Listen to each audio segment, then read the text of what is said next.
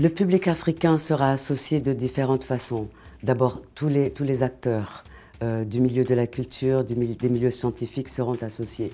Il y a aussi des directeurs et des directrices de festivals qui auront une programmation dans leur pays en même temps que la saison. Donc l'idée, les, les, discussions sont en cours de voir comment est-ce que leur festival qui aura lieu dans leur pays pendant la saison peut être en résonance avec la programmation qu'ils ou elles vont faire en France au même moment. La totalité de la programmation aura lieu en France, France métropolitaine, plus les départements et territoires d'outre-mer.